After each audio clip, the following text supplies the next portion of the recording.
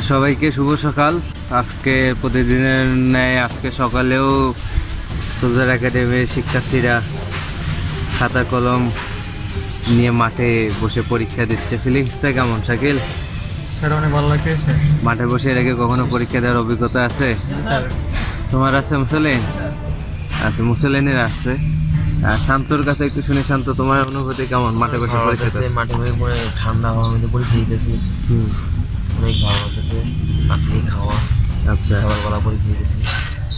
শুভর কেমন লাগে? জি স্যার অনেক ভালো লাগতেছে প্রাকৃতিক বাতাস হ্যাঁ। সবকিছু মিলিয়ে অনেক ভালো লাগতেছে পরীক্ষা দিতে অনেক আসলে সেনাবাহিনীর পরীক্ষার কেন্দ্র যখন যাবে এরকম কিন্তু মাঠে বসে অনেক সেনানিবাসী পরীক্ষা নিয়ে জি স্যার। ঠিক আছে? জি স্যার। এইভাবে পরীক্ষা দিতে হয় একটু কষ্ট করে। খালি একটু ক্লিপ বোর্ড নিয়ে যেতে হয় কিন্তু। সব তো ক্লিপ বোর্ড নিয়ে গিয়ে ওখানে বসে পরীক্ষা দিতে হবে। জি বুঝতে পারছ? জি স্যার। আর কার কার অনুভূতি শুনি? হ্যাঁ? সবাই মোটামুটি ঘাসের উপরে বসে পরীক্ষা দিচ্ছে। ভালোই লাগে না? এরকম পরীক্ষা দিতে। ফরিদের অনুভূতি কি? স্যার পারিপার্শ্বিক সাপেক্ষে অনেক ভালো ফিলিংস হচ্ছে আর পরীক্ষা দিয়ে নিজের জ্ঞান বিকাশ হচ্ছে। সব মিলে আর কি অনেক ভালো লাগতেছে। পারছি। তোমার অনুভূতি? স্যার মনোরম পরিবেশে বেশি বসে ভালোই লাগে আচ্ছা কেউ বা লুঙ্গি কেউ বা হাফ প্যান্ট কেউ বা গেঞ্জি তাই না? কেউ হ্যাঁ, একাডেমির গেঞ্জি। আসলে ইনফর্মালি এটা ক্লাস হচ্ছে আজকে। আর যখন আমরা ফর্মালি ক্লাস নিই তখন আসলে ড্রেস গেট আপ করেই ক্লাস নিয়ে থাকি। তো যাই হোক কোন কোন বিষয়ের উপরে পরীক্ষা দিচ্ছে একটু আমরা আরিফের কাছে শুনি। আরিফ কোন কোন বিষয়ে পরীক্ষা দিচ্ছে? স্যার বাংলাদেশ নৌবাহিনী এবং নৌবাহিনী এবং এবং বাংলাদেশ বিমান বাহিনী। বিমান বাহিনীর জন্য তাই না? এখন বর্তমানে কিসের উপরে পরীক্ষা চলতেছে? স্যার বাংলাদেশ বিমান বাহিনীর উপরে। বিমান বাহিনীর উপরে? জি স্যার। ওকে আর চিটাগাঙ্গার ছেলে মর্তুজা, কি নাম তোমার? গোলাম মর্তুজা শুভ, তাই না? আচ্ছা শুভ, কি শুভ হবে পরীক্ষা দিয়ে? হবে কি? পারব তো নাকি? পাশে অবশ্য একটু জুবাইরকে দেখা যাচ্ছে, নিশ্চুপ ছেলে সবসময় নিশ্চুপ থাকতে পছন্দ করে। দেখি জুবাইর কি লিখতেছে একটু খাতার দিকে দেখি আমরা। লেখা তো অনেকটা খারাপ আচ্ছা টেন্সের ফর্মুলা লেখার চেষ্টা করছে তাই না? প্রেজেন্ট টেন্সে যাক তোমার অনুভূতি একটু বলো। স্যার ভালো লাগছে স্যার। যে এরকম আমরা একাডেমিতে সকলে একসঙ্গে মাঠে বসে পরীক্ষা দিচ্ছি এবং সেনাবাহিনী বিমান বাহিনী নেভির জন্য প্রস্তুতি নিচ্ছি। এতে আমাদের কনফিডেন্সটা বাড়ছে যে আমরা চান্স পাবো আল্লাহ রহমতে। এই সব মিলিয়ে ভালো লাগছে কোন জেলা থেকে তোমার আসছিল? স্যার আমি নওগাঁ জেলা থেকে স্যার। নওগাঁ থেকে? জি স্যার। আচ্ছা। রংপুরে একটু অবশ্য গরম কিছুদিন থেকে তাই না? খুবই গরম। এখানে আরেকজনকে দেখা যাচ্ছে সবাই একে সুইট বলেই ডাকে। আসলে তার অরিজিনাল বাংলা নাম কিন্তু মিষ্টি তাকে ইংলিশ নাম দেওয়া হয়েছে সুইট তাই না? কি বলবা সুইট তোমার তো নাম মানুষের থাকে একটা তোমার নাম দুইটা। ইংলিশ নাম সুইট বাংলা নাম মিষ্টি। ঠিক কি না এখন পরীক্ষা যেটা দিচ্ছ এটা পাস করে কি মিষ্টি খাওয়াবা সবাইকে?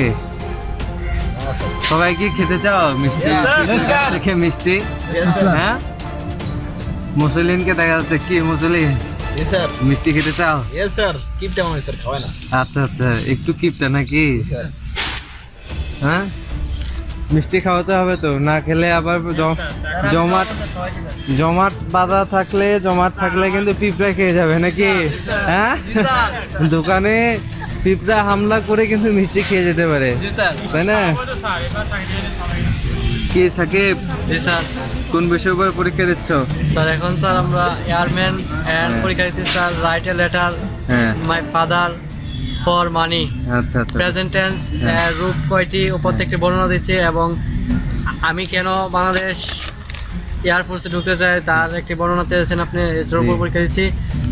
এবং write paragraph my your myself and my father যে কোনো পাঁচটি জ্যামিতিক সংজ্ঞা দেখার জন্য বলেছেন স্যার এটার উপর পরীক্ষা পারবা তো নাকি? ইনশাআল্লাহ স্যার পারব। পারবা? Yes sir. সিলেট থেকে আসছো তুমি? জি স্যার আমি সিলেট থেকে এসেছি। সিলেটের ছেলে। হ্যাঁ। স্যার। সিলেটের একজন একটা বিখ্যাত মাজারের নাম বলো তো?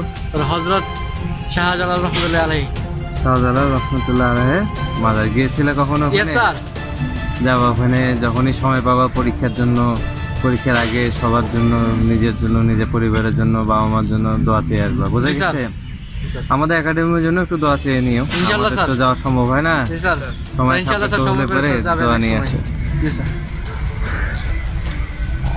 দুষ্টু প্রকৃতির একটু ছেলে এইকে দেখা যাচ্ছে কি বলে জানো আর এর নামটা কি ভুলে গেলাম?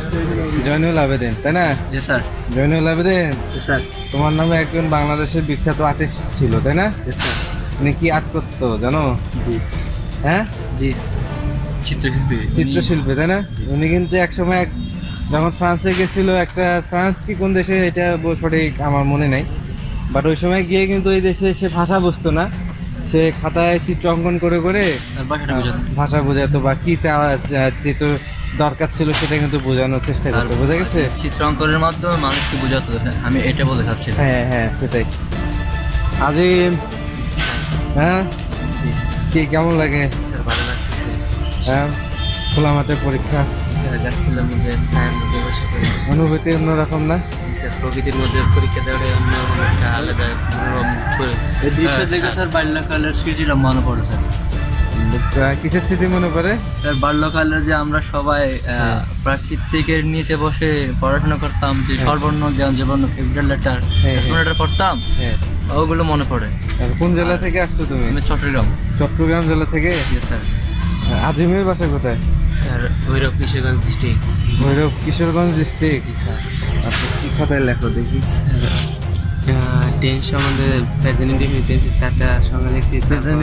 টেন্সের রূপটা লিখেছে হ্যাঁ। আট নম্বরটা টেবিলে দিয়ে, আছে দিয়ে দাও। আট দিয়ে দাও।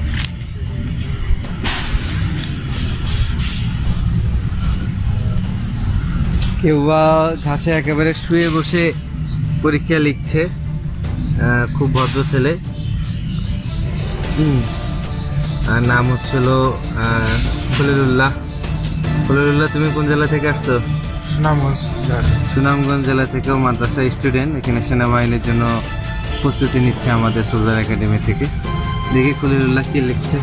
টেন্স স্যার খলিলুল্লাহ টেন্স লিখছে তাই না? জি স্যার পারব তো নাকি? জি ইনশাল্লাহ স্যার ইনশাল্লাহ সবার পিছনে ইমুনকে দেখা যায়। ইমুন একেবারে কালো ড্রেস কালো জার্সি পরে পরীক্ষা দিচ্ছে। হ্যাঁ কি গরম লাগে না ইমন? না স্যার। প্রাকৃতিক পরিবেশে কোনো গরম লাগতেছে না। গরম লাগতেছে না তাই না? স্যার। অনেক ভালোই লাগতেছে পরীক্ষা দিতে। আচ্ছা কি লিখছো? স্যার আমি write a paragraph about your father write a paragraph about your father father লেখো আমরা একটু দেখি।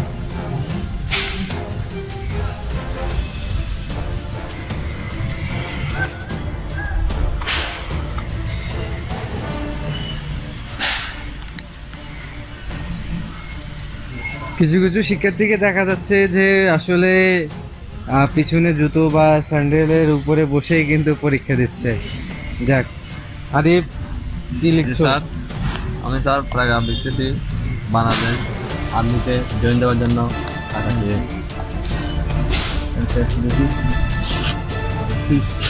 প্যারাও লিখছে আরিফের হাতে লেখা মার্শাল্লাহ ভালোই। তাই না? সবাই খুব মনোযোগী। লেখা নিয়ে ব্যস্ত। এর মধ্যে সাকিবকে একটু নকল করতে গিয়ে ধরা খেয়ে গেল।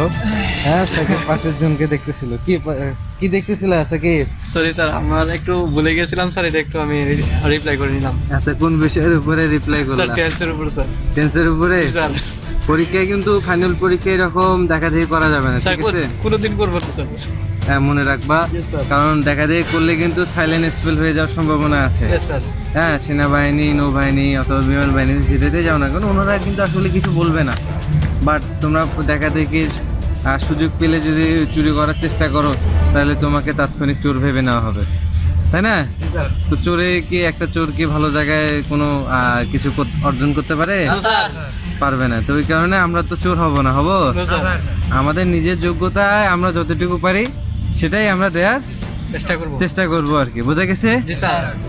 আর পরীক্ষার কেন্দ্রে প্রশ্ন খুবই সোজা হবে। আমাদের একাডেমিতে যেগুলো শেখাই এগুলো অনেক কঠিনভাবে শেখানো হয় যাতে তোমরা শক্ত জিনিসটা শিখলে নরম জিনিস পরীক্ষায় গিয়ে যাতে ভালো করতে পারো। জি স্যার। বুঝতে পারছ? যাই হোক পরীক্ষা দিচ্ছে। আকুল পরীক্ষা দিচ্ছে। কি আকুল মিয়া কেমন হচ্ছে পরীক্ষা? ভালো লাগছে স্যার। এই পরীক্ষা দিয়ে আমি আগে তার সাথে এখন আরও ভালো জানতেছি এবং শিখতেছি। হ্যাঁ। এবং পরবর্তীতে আরও ভালো করার চেষ্টা করব। এবং ইনশাল্লাহ পরীক্ষায় জিতেন দিলে আরও ভালো করে পরীক্ষা দেওয়ার চেষ্টা করব। আচ্ছা। দেখ আমাদের একাডেমির পিছনেও দেখা যাচ্ছে। সুবিশাল একাডেমি তাই না? জি স্যার। হ্যাঁ? অনেক বিশাল একাডেমি। কি বলো সাকিব? শান্ত পাচ্ছ? স্যার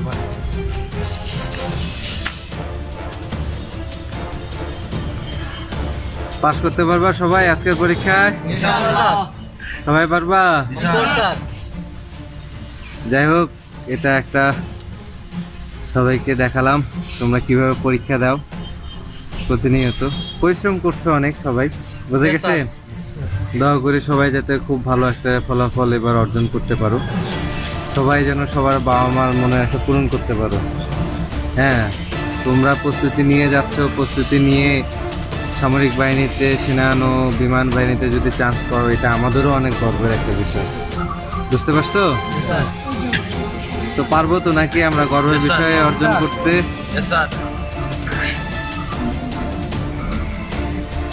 ধন্যবাদ। আজকে এই পর্যন্ত আমাদের ক্লাসের একটা ইনফর্মাল ভিডিও দেখালাম সবাইকে। ভালো থাকবেন ইনশাল্লাহ পরবর্তীতে আরও ভালো কিছু অপেক্ষা করছে সবার জন্য। ঠিক আছে?